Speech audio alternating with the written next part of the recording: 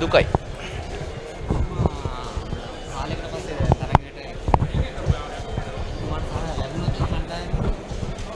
අන්ඩාවෙන් මට විතරක් නෙමෙයි සෙල්ලම් කරන 11 දෙනාටත් 15 දෙනාටත් ඒ පුරුදු පරිදි සහයෝගය ලැබෙනවා.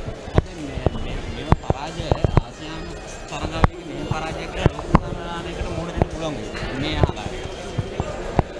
දැන් එච්චර දුර හිතනවට වැදගත් පරාජය අපි හැමෝම දන්න පරාජුණා කියලා. ඉතින් අ, එතනින් පුළුවන් තරම් ඉක්මනට වැරදි හදාගන්න පුළුවන් නම් ඒක තමයි ක්‍රිකට් වල ඉදිරි ගමනට හොඳ. පරාජය වෙන්න ඉතින් මම අමුතුවෙන් කියන්න ඕන දුර්ලභම මොකක්ද කියලා අපිට ලබා දුන්න ලකුණු සංඛ්‍යාව සමහරවල් වැඩි. කහඹ යන බැරි වුණා ඒකයි පරාජයට හේතුව. ක්‍රිකට් බෝඩ් එකේ තියෙන අනුමත කට්ටක් ඔබගේ මානසික මට්ටම බලපෑවද? මම ආවේ ක්‍රිකට් ගන්න. මම බෝඩ් එකේ වැඩ කරන කෙනෙක් නෙමෙයි. ඉතින් ඒ නිසා මම මේ බෝඩ් එකේ වෙන දේවල් මම දන්නේ නැහැ. ඒක කවුරු බෝඩ් එකකින් අහන්න. කණ්ඩායමක් ක්‍රීඩා කරන 11 දෙනෙක්. ඉතින් අ, එදා දවසේ 11 දෙනාගේ ද- තමන්ගේ හොඳම දේ ඉන්නේ නැත්තම් කණ්ඩායමක් විතර ජයග්‍රහණය කරන්න අමාරුයි.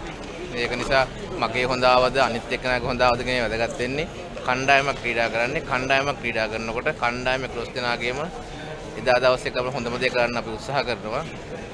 වර්ධිනවා හරියනවා. ඉතින් මම හිතන්නේ අපිට මේ තරඟ දෙකේදීම අපි කරපු උත්සාහයන් අසාර්ථක වුණා. මොකද දැන් අපි ලෝක කුසලන්නේ මොකද වෙන්නේ? ලෝකුසා තවත් මාස ගානක කාලයක් තියෙනවා. ඉතින් ඒෂියන් කප් එක පෙරදුනා.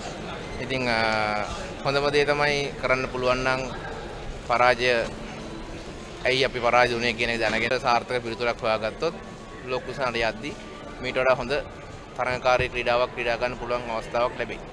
ක්‍රීඩාව කියන්නේම තමයි කාලෙකට හොඳට ක්‍රීඩා කරනවා කාලෙකට හොඳට ක්‍රීඩා කරන්නේ නැහැ. මම ඕනම කණ්ඩායමක් කිසිම විටක අ, හොඳට ක්‍රීඩා කරන්න නැතුව ඉන්න හිතන්නේ නැහැ. මම හිතන්නේ හොඳට ක්‍රීඩා කරන්න තමයි ඕනම කණ්ඩායමක් බලන්න.